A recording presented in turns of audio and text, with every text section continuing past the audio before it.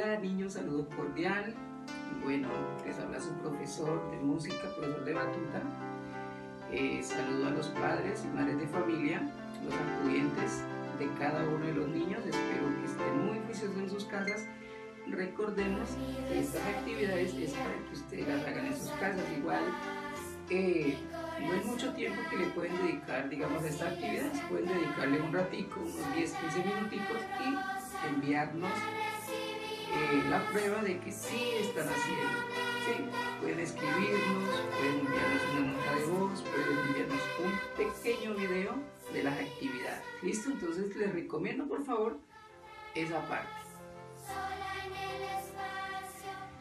Bueno, mi niña, entonces la actividad que vamos a hacer hoy, muy sencilla, eh, voy a explicarles el ritmo, pues la, la, la mímica que vamos a hacer. ¿Listo? Entonces dice así. Una vaca pedameda, pipirigorda, sorda y ciega, criaba hijos pedomedos, pipirigordos, sordos y ciegos. Si la vaca no fuera pedameda, pipirigorda, sorda y ciega, no criaba hijos pedomedos, pipirigordos, sordos y ciegos.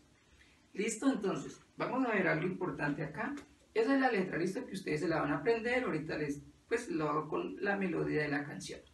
Entonces cuando dice una vaca, hacemos una vaca, pedameda, acá, pipirigorda, sorda y ciega, tenía hijos, pedomedos, pipirigordos, sordos y ciegos. ¿Listo? Entonces, si la vaca no fuera pedameda, pipirigorda, sorda y ciega, no criaba hijos, pedomedo, pipirigordos, sordos y ciegos. ¿Listo? Esta es la mímica de la canción.